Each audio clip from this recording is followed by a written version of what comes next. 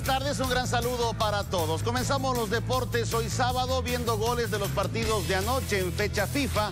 En el estadio Mario Alberto Kempes, en la Argentina, el equipo local derrotó 2 a 0 a México. Una victoria más para el elenco dirigido por Lionel Scaloni, que espera quedarse en el cargo como técnico oficial. Ramiro Funes Mori abrió la cuenta al minuto 44 y luego Isaac Brizuela a 7 del final, gol en contra. Tendrán que enfrentarse nuevamente ambos equipos. El martes ya el partido será en México. Vamos ahora al Estadio Teniente de Rancagua en Chile, donde la selección local perdió a manos de Costa Rica. Kendall Watson marcaba de esa manera el primer tanto. El equipo chileno dirigido ahora por Reinaldo Rueda tiene muchas dificultades en el cambio generacional de futbolistas y no se están dando por ahora buenos resultados. El segundo tanto, nuevamente error defensivo y Kendall Watson marcaba el 2 a 0. Luego Ronald Matarrita a los 64 y era goleada para la selección de Costa Rica.